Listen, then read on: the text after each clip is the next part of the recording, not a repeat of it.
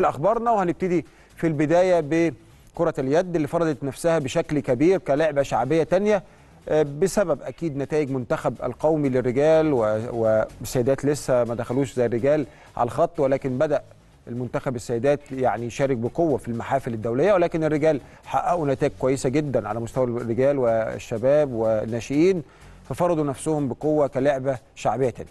الفريق الأول لكرة اليد في النادي الأهلي بقيادة مستر ديفيد ديفيز بي يعني بيكمل استعداداته عشان بطولة المحترفين اللي هتنطلق في 1 9 بإذن الله في أول مباراة مع نادي الزهور. مستر ديفيد ديفيز رافع الأحمال البدنية بشكل كبير. خلاص رجعوا من البوسنة والهرسك بعد المركز الثاني بعد برشلونة في بطولة البوسنة آه، أو بطولة الأبطال آه، آه، الدولية اللي اتلعبت في البوسنة.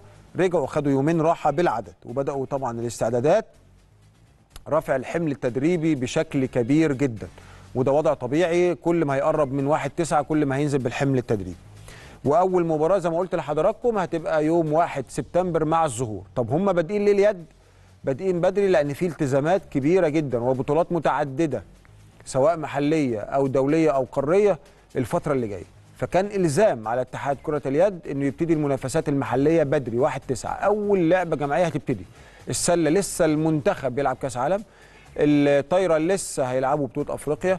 آه، فإذا ما عندكش يعني فرق خلصت التزاماتها الدولية أو المحلية غير كرة اليد ليهم نظام. أنت تبع الأجندة الدولية تبع الأجندة اللي بيحطها الاتحاد الدولي بتاعك.